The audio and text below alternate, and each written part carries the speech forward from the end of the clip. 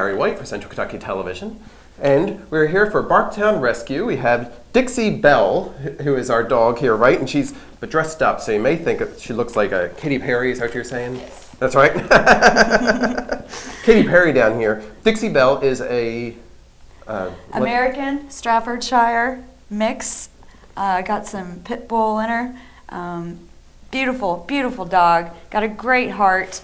High energy, 10 months old.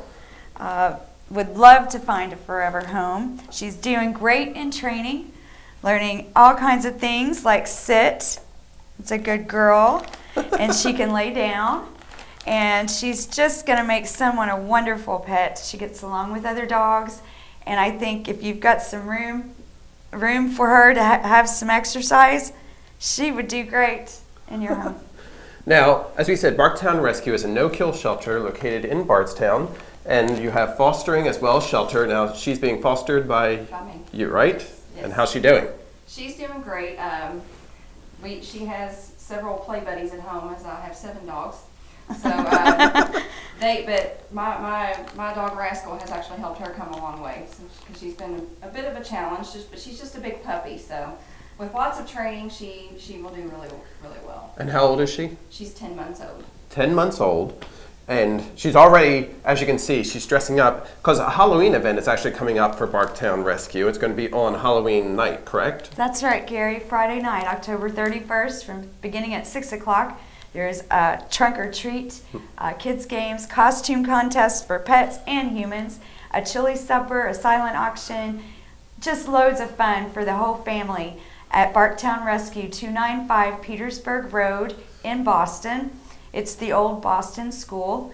Uh, for more information, you can uh, check out the website, barktownrescue.org, or you can give them a call, 502 833 2275. Oh, I'm sorry, Dixie. Treat I've been sitting motivated. good. Yes. Treat motivated. She's saying, I'm sitting Yeah. very well. And I'm wearing this costume. Yeah.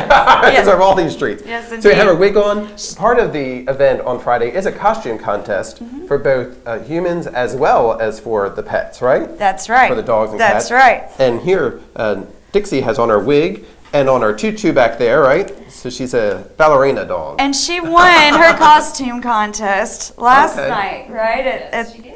In her training class, she won the costume contest. So she's a winner. She's a star this week.